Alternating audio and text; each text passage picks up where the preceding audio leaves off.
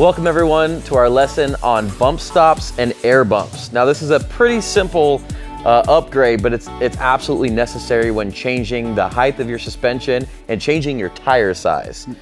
Tire size, you know, your fenders, if you went from a stock fender configuration to a Highline or you separated your fenders like you guys have done here, setting your bump stop to maximize up travel but minimize rubbish or damage to other components is a critical setup uh, portion of your overall suspension.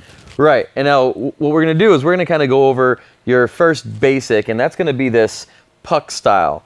Now, the factory has a uh, rubber type isolator on one end and then generally uh, like a pad on the other side. For it to strike against. Right. It's generally like a closed cell polyfoam uh, bump up top, something that's going to be quiet when it makes contact with the, the mating surface.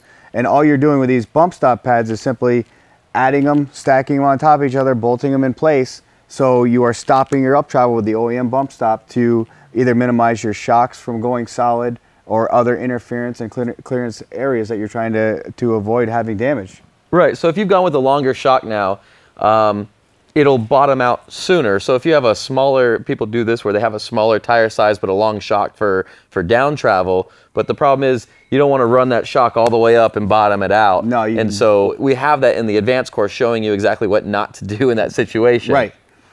But with this, you're going to simply keep stacking them Yep. until your tire either hits or until you uh, have the shock right before yep. you're going to go full bottom out yep. on it, right? And in some other instances, you're, not, you're trying not to make a control arm make contact with something or any other mechanical interference that can cause damage prematurely to your vehicle that you don't want to have. Bump stops are critical. So it's pretty much clearance. It, Exactly. It's clearance issues. Yep. So all, you're gonna all, almost all the time. Okay. Now, so from here, from stacking them, you can see there's holes there you're going to run, obviously, you just get a longer and longer bolt depending yep. on how many. And you can stack, I mean, three, four, four five. Six. I mean, at a certain point, you might want to just get a metal plate and then add, start with Absolutely. one again. or start to come down from the top, depending. Like something like this comes down from the top instead of coming up from the bottom and get the two to meet where, right where you want them to meet. Right. Now, this is the uh, this is an upgrade to the factory closed cell foam. Yep. So the factory one is very soft. It doesn't re doesn't really give you any um, absorption. Correct. You pretty much hit it, and you I mean you feel it in Drive the vehicle right when it. you hit it. Um, this one is uh, an upgraded. This one's actually from MetalCloak, and this is an upgraded. Uh, just I think it's the same closed cell foam. Same type, idea. Same idea, but there's more rigidity yep. to it. You have more give. We have these on our vehicle now, and when I hit them, you feel them, but you feel the vehicle actually slow down, not just smash into them. Yep. And that's that's uh, what these are good for. So you can kind of upgrade both, uh, where you get a little bit more here plus plus some cushion. Um, but as you start pushing a vehicle a little further um, off road, and you if you're constantly hitting these bump stops hard, you may look at your spring and shock combo, but there's another weapon here. Uh, another option to control the you know hard bottoming of your vehicle or your solid stop is what's called an air bump. You can vary the pressure in the, in the chamber to create a greater force here so it slows your vehicle down same as this did. This was a denser uh, foam than the factory one, mm. so it made it slow it down at a greater greater rate. This will do the same thing. These come in various uh, sizes. What we have here is a Radflo 2.0 with an inch and a half stroke. They vary the stroke, they vary the size of the can. So the bigger the can, you go up to a two and a half. Then you get um, greater uh, bump stop capacity uh, okay. over the end.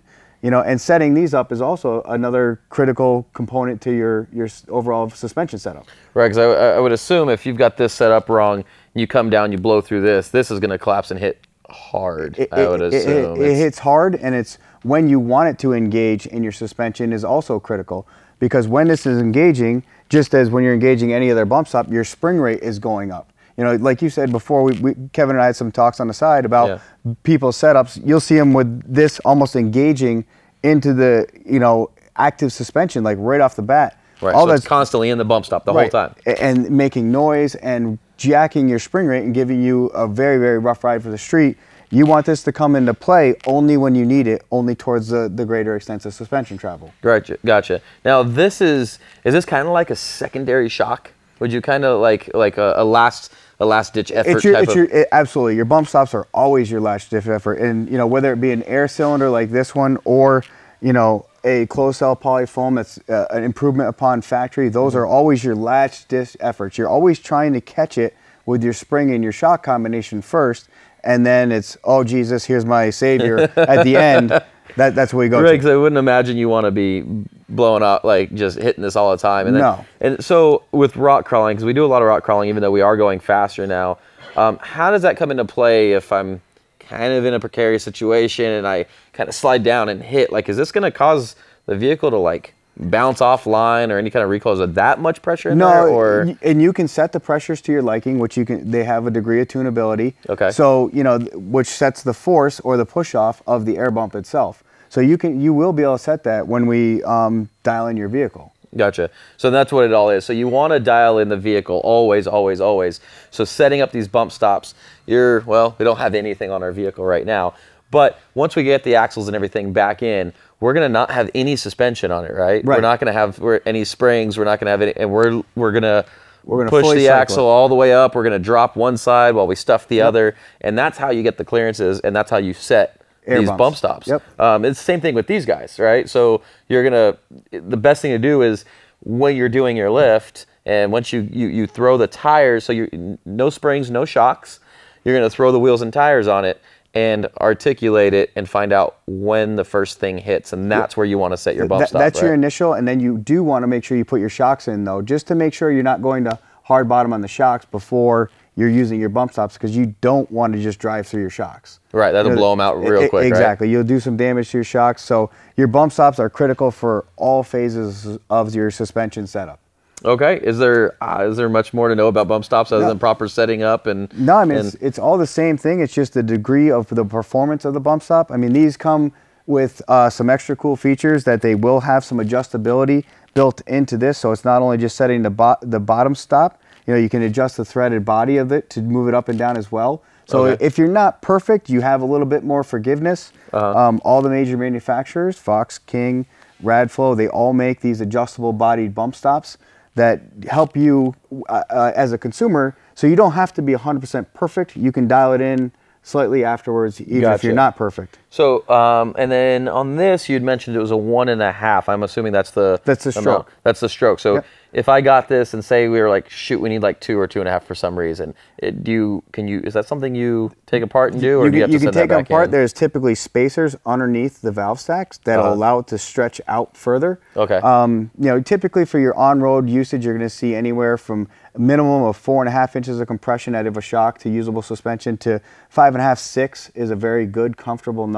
Okay. And you know, so making sure your typical range is you know two and f- two, three, and four is what you'll see most of these guys. We have Radflo setting these up specially for us because we don't want them to gauge when you're on the road all the time. Right. It would be it, like you said, it'd jack your spring rates up. Now we did have. I forgot to grab these. Well, grab one of these here. Um, this pad here. Yep. This goes with your with your bump stop, and it's shaped all kind of funky. But that's designed again just for another um, on the rear of the the JK and the JL. Mm-hmm. You know, as the axles repositioned, you're not necessarily going to come up and strike the OEM position well. So now you can actually slide these and tighten them to make sure you're striking the OE pad or an aftermarket pad. Mm-hmm. Uh, you know, and making sure everything is functioning to the, the way you want it to function. Right, so picture this. So this is on the frame, Yep. and then this is as your axle comes up, this is going to contact here. But the problem is, is as you change things, uh, and that's why this is offset, is that this may strike only a portion of this, and so you would move your bump stop out to actually strike, so you're striking directly dead on. Exactly. But so this is going to be fixed, and this is the part that's moving. And what he's talking about is as your axle is moving, you always want to be in the shock and spring, and it's only when you blow past it that you're wanting that to actually hit and stop you. Yep. Um, and and that's where we go. It's the same same thing for this guy, right? This Yep, guy's going to same be exact thing.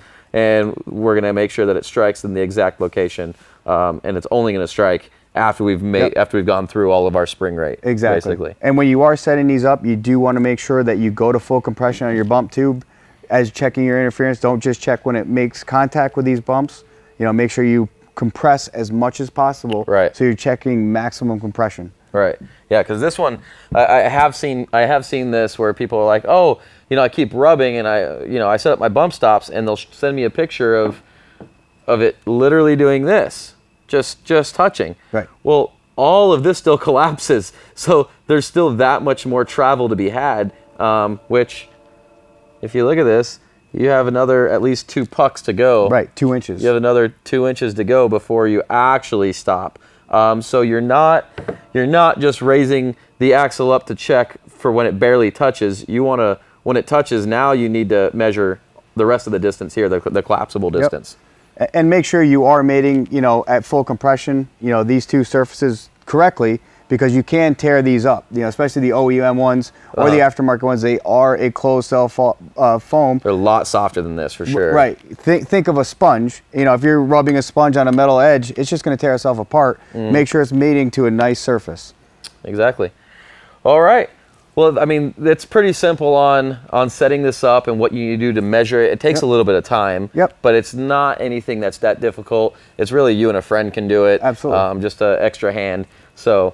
Um, and we'll go over that in the advanced course as well. Right. So we do have that in the advanced yep. course on how to actually set this up and what how it actually looks. So head on over to the advanced course yep. if you want to learn more about that, um, or if you want to just pay someone like this guy. Right.